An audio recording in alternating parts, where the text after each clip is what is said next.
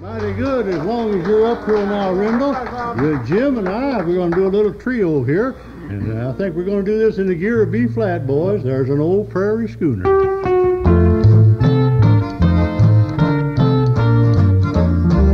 Now there's an old prairie schooner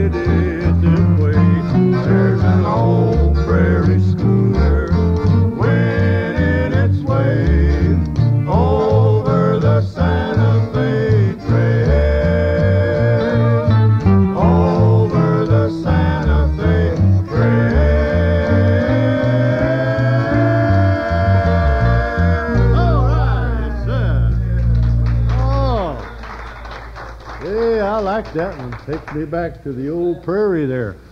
I like that one just a whole lot. We get a lot of requests for that trio there.